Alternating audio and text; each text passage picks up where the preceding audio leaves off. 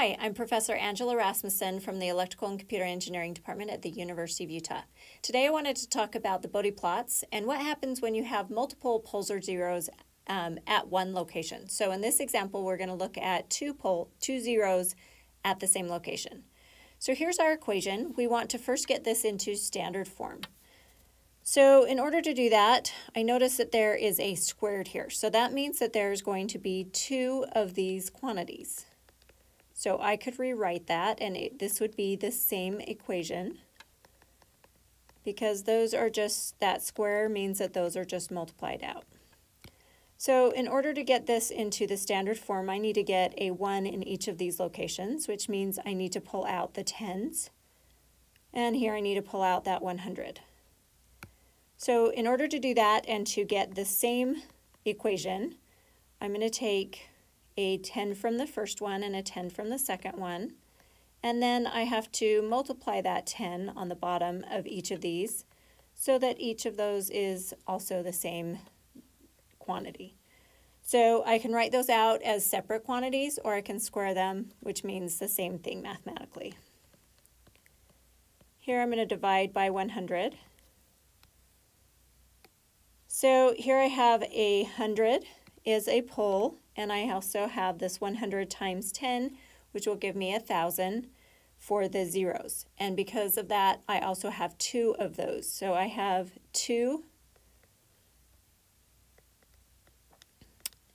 at 1K, I have two zeros, and then 100 is my pole. So I have, I'm going to mark these. I have at 100, I have a pole, and at 1K, I have two.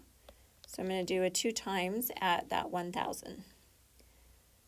So I also need to find out the starting value.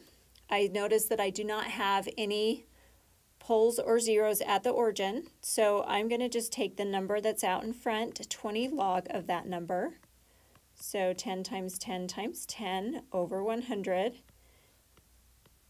And that ends up giving me a value of 20 dB. Note here that this negative does not change the magnitude at all. All it's going to change is on the axis, it's going to be instead of going a positive real, it's going to be a negative real. And so all it changes is the phase itself. So the negative does not change the magnitude, only the phase. So here we're going to graph this. We, we have a flat line, as you can see here, until we reach 100. At 100, we have the effect of a pole, which is minus 20 dB per decade. So starting already at zero, we're going to add on a minus 20 dB per decade change and the slope now becomes minus 20 dB per decade. So if we go down, that's going to go down to zero within one decade. And then we also have a change at 1,000. So at 1,000, we have a change of two of the effects of a zero, which is plus 20 dB per each one. So from minus 20, we have a change of plus 40 dB per decade. That gives us an effective plus 20 dB per decade change.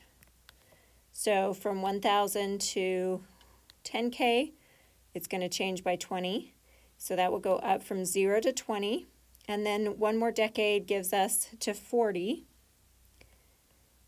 And then it will keep going at that plus 20 dB slope forever. So it just keeps growing at that slope. So at any point after this graph, we can still figure out what the value is at specific locations. So for the phase, we need to know the starting value for the phase. And we have an effect of minus, so we have a, a change of minus or plus 180. I usually do a minus 180, so I'm going to start off my graph at minus 180 degrees. So the effects from each of the poles and zeros. I'm going to circle these again. And remember, you cannot add the effects like you do for the magnitude. What you're going to do instead is look at the range that they have an effect in there. So the ranges are what we need to determine first. So from 1,000, we're going to have a one decade before divide, meaning 1,000 divided by 10 gives me 100. 1,000 multiplied by 10 gives me a 10K.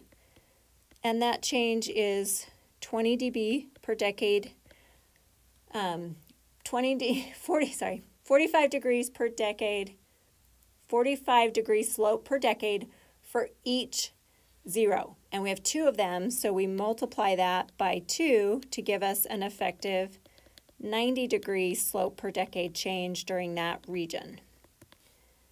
So for 10, or for 100, 100 divided by 10 is 10. 100 times 10 is 1,000. And so this is going to be my region, is 10 to 1,000. The slope is going to be a minus 45 degree per decade slope during that region because it is a pole. There is an overlap here.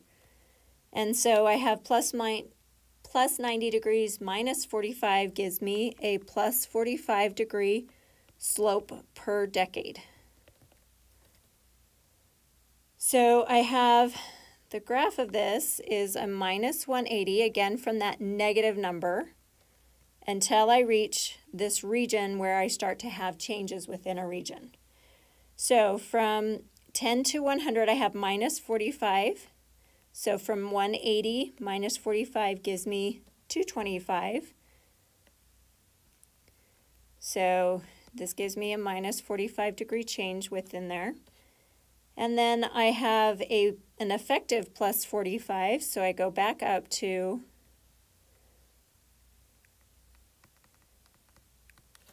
up to minus 180, and then I have a plus 90 for one more decade. So I go from minus 180 to plus 90 would be minus 90. So I'm going to go all the way up here.